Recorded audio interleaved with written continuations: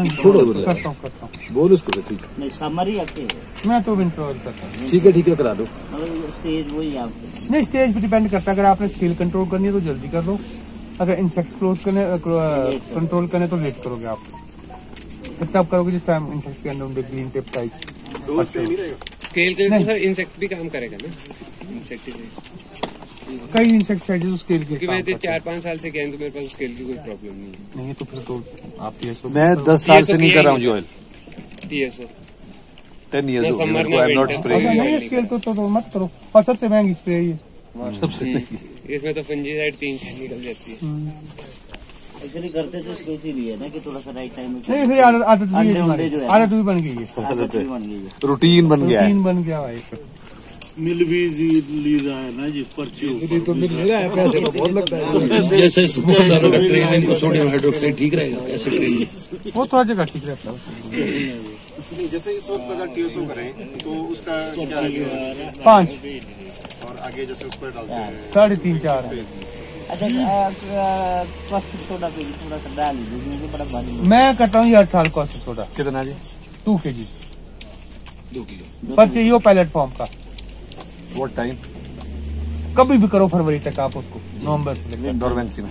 उसमें सबसे बड़ी बात है कि ओवर विंटरिंग एग्स वगैरह हाँ। जैसे माइट के है और फंगस है स्केल के लिए तो सबसे इफ़ेक्टिव है स्केल और दोनों नहीं आएगी। दोनों नहीं जब आपने वो कर दिया।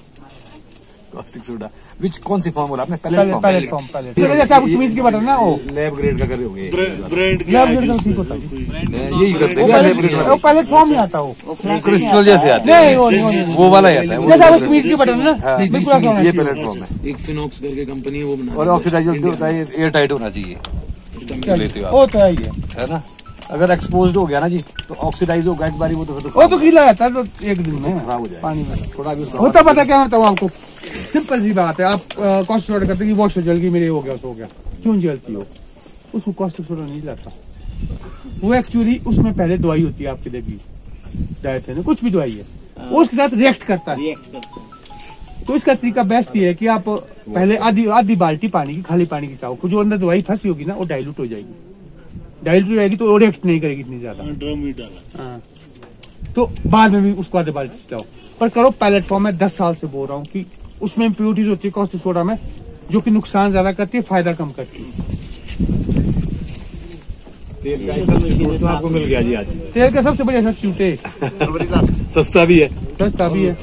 कभी भी कर सकते हैं से लेकर। जो आपके पत्ते पुत्ते में ना नीचे गिरे इकट्ठे करने की ज़रूरत नहीं अगर आपने बोर्डो में नहीं नहीं नहीं होता नहीं नहीं नहीं मैं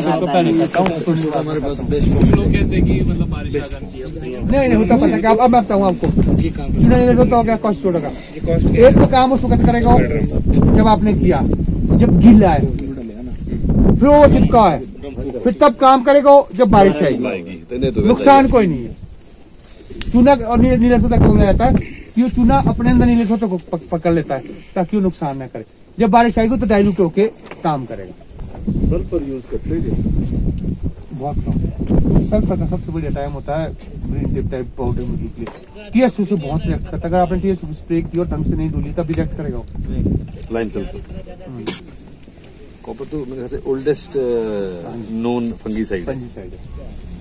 और ये जो कॉस्टिक सोडा है ये आता भी ऑर्गेनिक में है।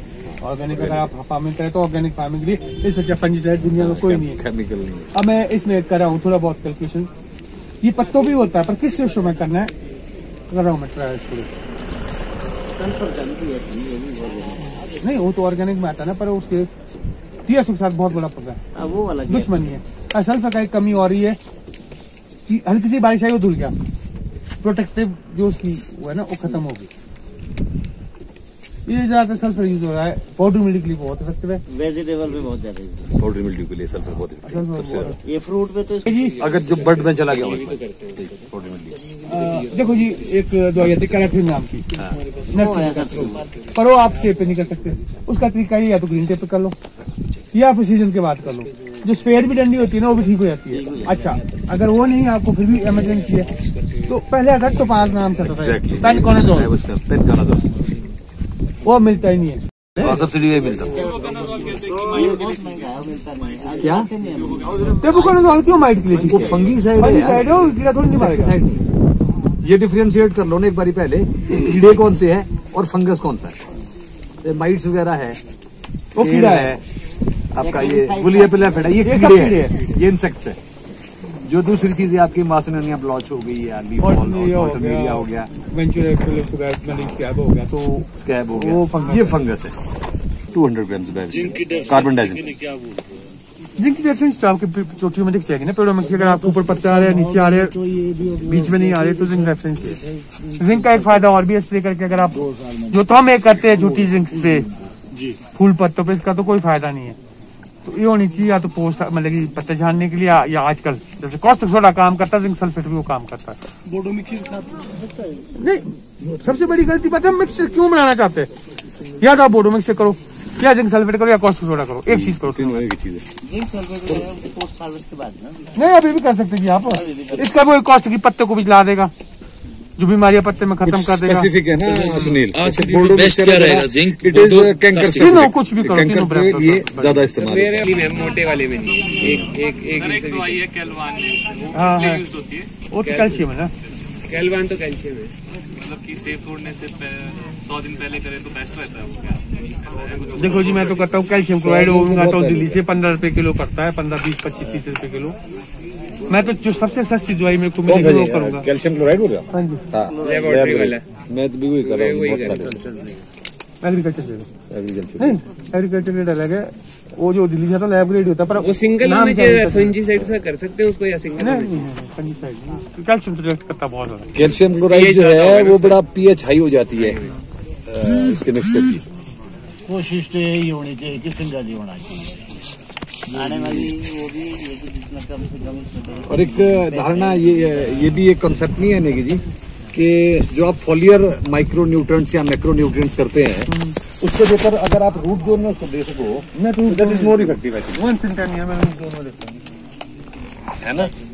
रूट से प्रॉपर वे में आपको न्यूट्रिशन मिलना है। फॉलियर तो आपका इंजेक्शन होगा ना कि सुबह लगाना भाई? अगर आप पहले- के पहले जा बोला है कि मैं हैं, तो है ड्रॉट हूँ। रूट में करना पड़ेगा ना आपको?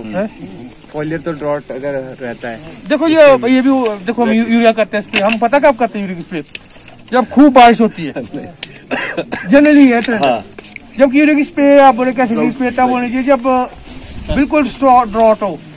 ताकि जड़ों से उसको खुराक नहीं मिली तो आप पत्तों को दे रहे हैं के थ्रू के थ्रू नहीं ये जो लाइमिंग का लाइमिंग का क्या है? लाइमिंग तो पीएच के साथ होगी। जैसे लोगों ने तो रूटीन नहीं बना दिया यूरिया डालो पीछे से लाइम डालो नहीं वो गलत तरीका पीछे से तो वैसे नहीं डाल सकते जी आप यूरिया फॉर्मेशन होती है यूरिया के साथ उसको क्या बोलते लाइम एक दो महीने का गैप होना जब आपने करना भी है तो मेरे हिसाब से लगता है कि आपने बरसात से पहले लाइमिंग तो करनी चाहिए जब बारिश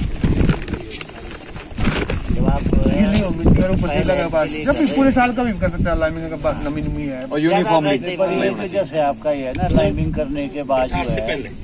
कितने दिनों के बाद जो है आपका बारिश नहीं अगर कल्टीवेशन हो आप सर इसके साथ। भी करते हैं ही करते हैं। तो फिर ये भी ध्यान रखना पिछले साल जो रस्टिंग आई ना सेब में बहुत जगह आई कि एक फंजीसाइड की बारिश आई नहीं दूसरी भी कर दी।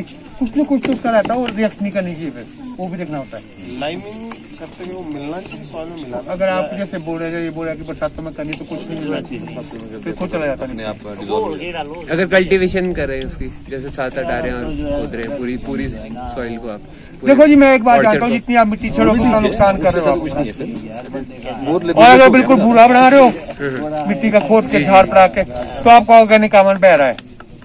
तो टीलर से ही कर पाएँगे सर इतनी कल्टीवेशन तो वो तो मिट्टी को नहीं नहीं घड़ी घड़ी मत करो ना वो भी बोल रहा हूँ मैं नहीं अगर एक बार भी करते हो ना सर आपको तो वो तो टीलर तो आपका पतला ही करता है मिट्टी पतला करेगा तो तो नुकसान है कंपैक्शन भी करता है क्या बोलते हैं एवरी ईयर अगर आपके लाल मिट्टी है तो तो एवरीर होनी चाहिए पर यहाँ मेरे को लाल दिखी नहीं। ये लाल नहीं मानता मैं इसको। ये वाली तो नहीं है ये तो नहीं है। तो बाकी अगर काली मिट्टी तो कोई ज़रूरी भी नहीं होता। पर मैं अपने तरीके से मैं तो सिर्फ़ ढेले पलटवाता हूँ वो भी सीज़न टाइम है क्योंकि सुगर लेवल सस्ती होती है जितनी हल्की बारिश आगे में सेब तोड़ने शुरू लग जाओ पलटी मारने पलटी करो सिर्फ़ पलटा कर क्योंकि पलटा करके आपके जब हम बोलते हैं ना बे, बेसिक होता है कि हमने हवा जानी चाहिए अंदर। तो साल भर वो रहते हैं टूटते भी रहते हैं तो हवा भी जाती रहेगी। लाल मिट्टी नेगी जी आप एक चीज़ बताइए जैसे आपके 20 साल से सेब लगे क्या आप पीजीआर यूज़ कर रहे हैं? बिल्कुल नहीं। करते कभी प्रैक्टिस भी नहीं करते। ट्रायल्स में सारे करता हूँ। आप अगर मेरे को कहीं से गंदा पानी भी देंगे कि दवाई तो मैं ट्रायल करूँगा एक दो फ़ील्ड नहीं होना चाहिए कि नहीं होना चाहिए? डिपेंड करता है जी। वो आपकी पर्सनल चॉइस है। पर पीजीए का आपको क्या रिजल्ट्स मिले सर? आप प्रैक्टिस तो आपने भी करी है। आप खाद भी डालो उसका भी नेगेटिव इफ़ेक्ट होगा ही होगा। वो आपने देखना कि पॉजिटिव ज़्यादा है कि नेगेटिव ज़्यादा है? पीजीआर को आप किस तरीके से लेते हैं? मैं लेता हूँ जो जितना खर्चा उसको रहा है जी। हाँ जी। उतना उसको तो मैं कोई रिटर्न नहीं आ रहा। कॉस्ट इफ़ेक्टिव नहीं कॉस्ट इफ़ेक्टिव नहीं। और दूसरी बात ये सर सीडलिंग पे ज़्यादा इफ़ेक्टिव है उसका जो रूट मार्केट में। वो डुप्लीकेट है। सबसे बड़ा दुख इस बात का? एलडीपी पे करके फ़ायदा है इसका या फिर सीडलिंग पे? किसका जी? पीजीआर का। मैं समझा नहीं आपकी बात। एच डी बी और उसकी बात सीडलिंग वो तो सब जो बड़े है ना, भी। तो अलग बात है। वो तो सब पे है।